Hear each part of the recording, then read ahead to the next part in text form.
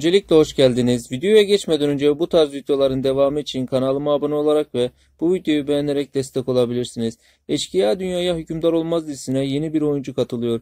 Oyuncunun adı Ali İpin. Ali İpin'i E- Edo izleyicilerinin yakından tanıdığını düşünüyorum. Ali İpin Kurtlar Vadisi'nin ilk 97 bölümünde Kirve karakterini canlandırmıştı. O izleyicilerin tanıyacağını düşünüyorum. Oyuncu son olaraksa Seni Çok Bekledim dizisinde rol alıyordu. O dizide zaten final olacak. TV100'ün haberine göre oyuncu karşımıza sürpriz bir rolle çıkacak. Siz ne düşünüyorsunuz? İyi bir karakteri mi canlandıracak, kötü bir karakteri mi?